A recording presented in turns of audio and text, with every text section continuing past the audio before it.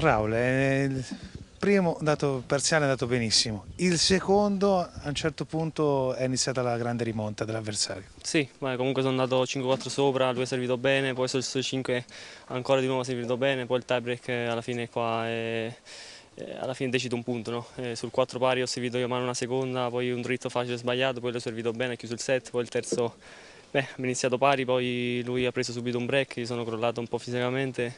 Bravo lui, ha alzato il livello, io sono calato un poco, però niente, bravo lui. Ci rifaremo la prossima volta. Certo, certo, ci rifaremo la prossima volta. Grazie. Dai, dai,